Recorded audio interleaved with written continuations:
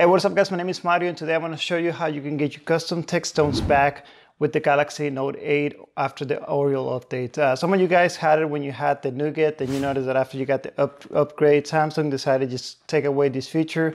A lot of you guys have mentioned that you want it back. So I know Samsung is working on an update that is going to bring it back. But in the meantime, there's an app called Textra, which is going to allow you to do this. So let's go check it out.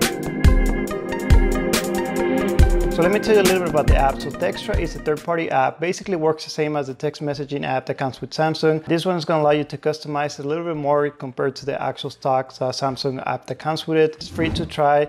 Actually, you can have it fully for 14 days. And after that, you're going to get some advertisements on the top. But if you want to pay for it, it will cost you 349. It's a one-time payment and it's just basically going to take away the ads. And if you don't mind, you can continue using it, but you will see some of the ads on the top. But before I show you how to customize the ringtone, let me tell you a little bit about the features that you're going to get with this app. So basically, you're still going to be able to send uh, messages to any of the iOS phones. It's, this app is going to be compatible with basically any Android phone. It's supposed to support any, any phone that has 4.0, which was the old ice cream sandwich uh, OS, which was released many years ago. So I tested it out using the Oreo OS and it worked just fine. Some of the features that you're going to get, you're still going to be able to send messages messages and uh, multimedia messages and videos audios, uh, some of the GIF images that will still work. Something very cool is that you can customize the emojis. So if you want to get the stock version of the Twitter emojis, for example, you can do that. Also, you can bring different stock versions. For example, iOS, you can bring those in. Of course, some of those you're going to have to pay for them, but it's already going to have its own basic uh, free emojis installed on it.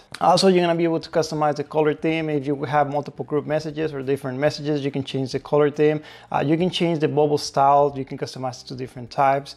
You can schedule messages to be sent later on, and it's gonna have a quick reply feature. So these are some of the quick, uh, cool features that I like that I use the most. Uh, of course, it's gonna have a lot more features. I don't wanna go into details, but if you guys wanna go check out more into it, make sure you, you do that. Now let me go show you how you can customize the text tones to different conversations. So once you open the app, you're gonna go find one of the conversations that you already have going on.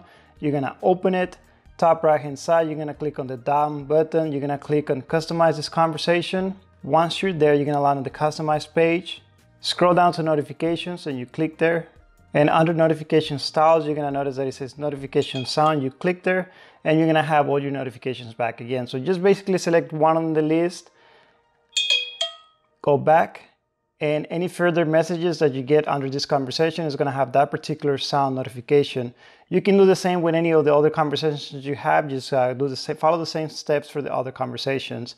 And of course, like everything, there's always some issues. And I tried to do some research on some of the issues that people have had with this app. And honestly, I noticed that a lot of people have been using this app for the past two or three years and they highly recommend it. In fact, there's about 343,000 people that have downloaded this app and it has a 4.5 star reviews out of five, which is outstanding.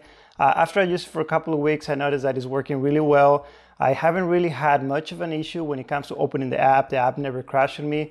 I did have one issue one time, and it was only one time where I didn't get a message. Basically, the message was sent by my friend early in the morning, and I didn't get it until later on the day. And that was basically because I was connected to Wi-Fi. And when I disconnected to Wi-Fi, I got the text message. Happened to me once. I don't know if it was a glitch, but other than that, it worked pretty well. Uh, some of the people did mention that it's not going to be compatible with some of the smartwatches. So, for example, some people mentioned that they're not, they don't get the notifications for the S3 Frontier watch. So keep that in mind. You may not be able to use it with some of the smartwatches, but remember you can always try the free version before you go ahead and purchase the full version if you want. If you have used this app, let me know in the comment section below what do you think about it, or if you have any questions or anything that you want to see regarding this app or anything on the Note 8, let me know in the comment section below. Uh, consider subscribing to this channel for a weekly tech video. Thank you for watching. Make sure you hit the like button if you enjoyed this content, and I will see you on the next one.